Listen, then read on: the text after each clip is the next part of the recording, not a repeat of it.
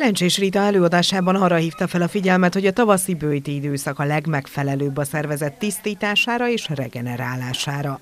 Természetes anyagokkal érdemes a tisztítást végezni, a méregtelenítés után pedig a tápanyagok és a vitaminok sokkal jobban szívódnak fel. Eljött az az idő, amikor egy picit segítsük a szervezetünket megszabadulni azoktól az anyagoktól, amik úgy felhalmozódnak évközben. Itt gondolok például a bérrendszerben például a salakanyagokra, ugye szeretnénk, lehet, hogy már nyára készülünk, és akkor már szeretnénk esetleg fogyózni. Tehát mindenképpen a bőjt időszakban érdemes egy ilyen tisztítókúrát beiktatni. A bőjt idején érdemes lazítani az étrenden, javasolja a húsfogyasztás csökkentését és a rostfogyasztás növelését. Lencsés Rita hozzátette, a rostos étrend segíti a bérrendszer salaktalanítását. A szakértő a lemmag és az úti fűmaghéj étrendbe való beillesztését javasolja, és itt az ideje a nyírfa víz lecsapolásának is, amely szintén a segítségünkre lehet. A nyírfa víz fogyasztásával, hogyha minden napokba bele tudunk tenni, akkor segíti a szervezetünket akár a vesén keresztül,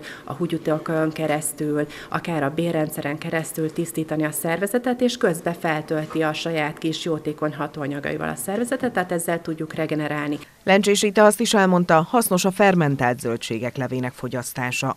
A japán kristálygombából készült limonádé, illetve tonik pedig házi készítésű probiotikumot jelent.